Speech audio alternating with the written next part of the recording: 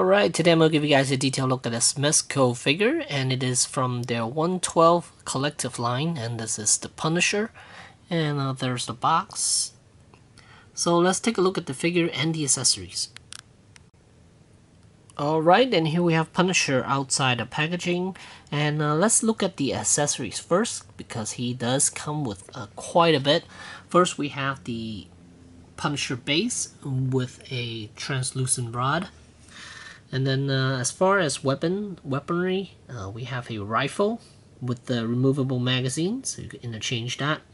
A grenade launcher with six extra uh, six uh, grenades for you to put in. And an MP5 with the magazine, and then a effect piece, and then a pistol with the magazine. And comes with two alternate heads. We have the regular and then angry and then the beat up head. Then uh, we have a bunch of hands. We have grasping hands, a pair of fists, some gesture hands, and then two trigger finger hands. So this here is the Punisher figure itself. Alright, I uh, just want to do a close-up on the weaponry first. And uh, here's the grenade launcher. You rotate the back section and here expose uh, six barrels for the six grenades. You can slide those in if you want, but I don't think it's really necessary because um, you're not going to see it when you're uh, displaying it. And uh, here's that rifle. Nicely painted, even though it's molded out of one color only. It does have uh, weathering effects on it and here's the removable mag uh, removable magazine. There's the second one. And then uh, here's a good look at the MP5 again removable magazine. And the little pistol. Which is awesome that they did all these magazines for it. They could have easily uh, just kept all those out but uh, I'm glad they did it. And here's a closer look at the head sculpts we have the generic face, generic head, and then the very angry looking head. Nicely painted and uh, they did a really good job with the shadows and the and the and the and the uh, scars on his face here. And then here's the beat up one. It's really good. He definitely got a swollen eye right there some scars, and a band-aid around his nose. And there's the rest of him. Uh, he comes with a a white skull vest on, and then a removable belt, and a pair of black pants. The reason I mentioned these uh, this uh, pair of black pants is because if you plan on getting the preview exclusive version, uh, that version does not come with black pants. It comes with a brownish color pair of pants. But that figure comes with a lot more accessories than this. Uh, it looks like this one has a lot, but uh, if you get the preview exclusive version, uh, you get way more uh, as far as uh, accessories. And one thing I didn't like about this figure is the fact that he has a white skull vest on.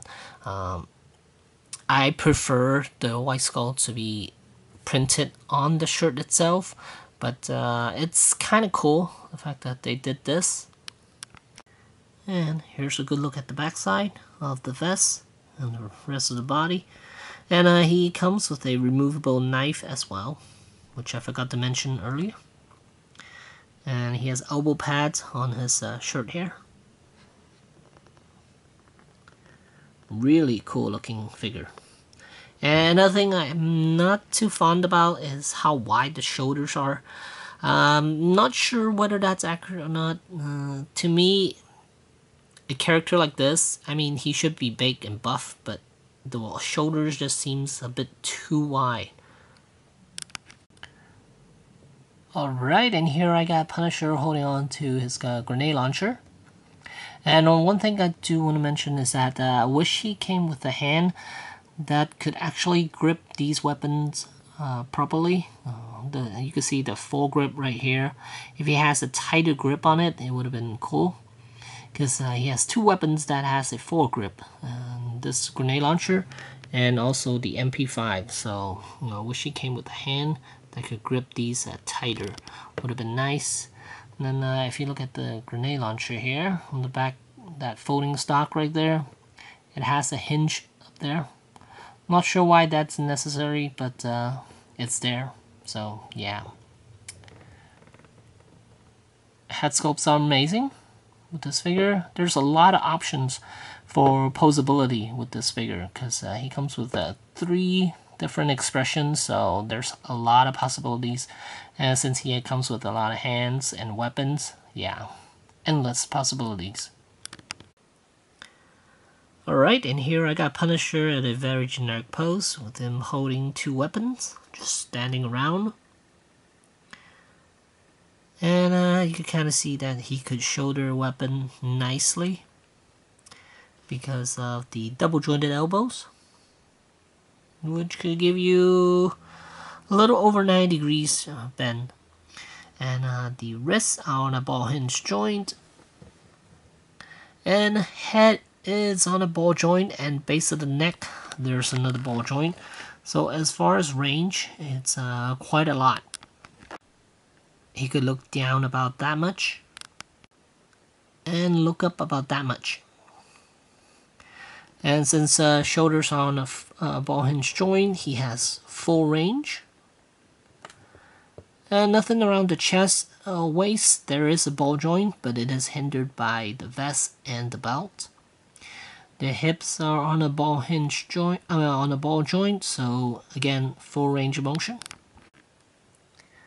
And if you remove the belt, you kind of see what's the range he has as far as the hips could go up to about 90 degrees and then double jointed knees can give you way over 90 degrees bend and ball jointed ankles which is somewhat limited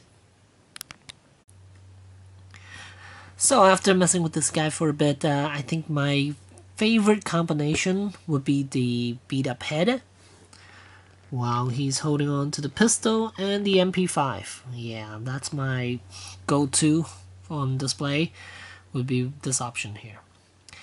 And uh, so overall, I highly, highly recommend this figure. Uh, comes with quite a lot of accessories, a huge amount of accessories actually.